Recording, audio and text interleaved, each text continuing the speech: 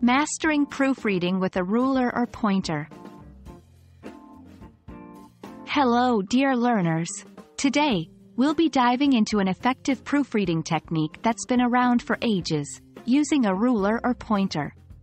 While this might sound old-fashioned, it's a highly effective way to catch those sneaky errors in your text. Let's explore how this method can make a big difference in your proofreading process. When you're proofreading, it's easy for the eyes to skip lines, especially when dealing with dense text or if you're feeling fatigued. By using a physical tool like a ruler or pointer. 1. You can guide your eyes through the text, ensuring that you don't skip lines or words. 2. It isolates individual lines of text, making it easier to focus. 3. You become more systematic in your approach, ensuring that each part of the text gets equal attention. 1. Begin at the start. Position your ruler or pointer at the beginning of the text. 2. Move slowly. As you read, move the ruler or pointer down, line by line, guiding your eyes as you go. 3. Pause and reflect.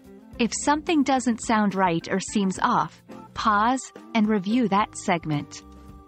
4. Note down errors.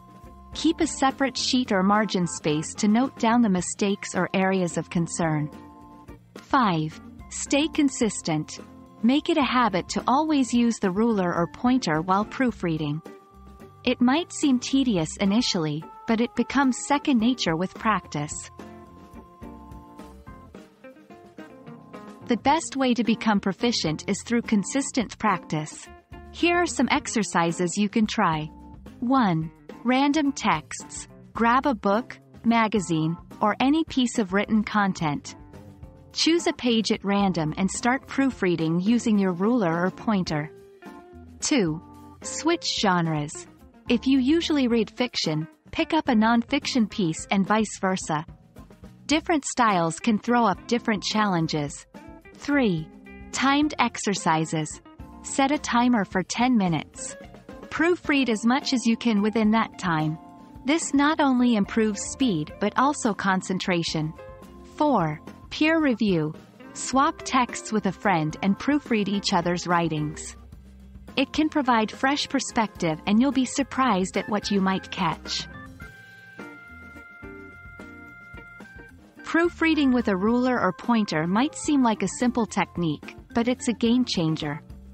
With regular practice and application, you'll find yourself catching more errors and refining your texts like a pro.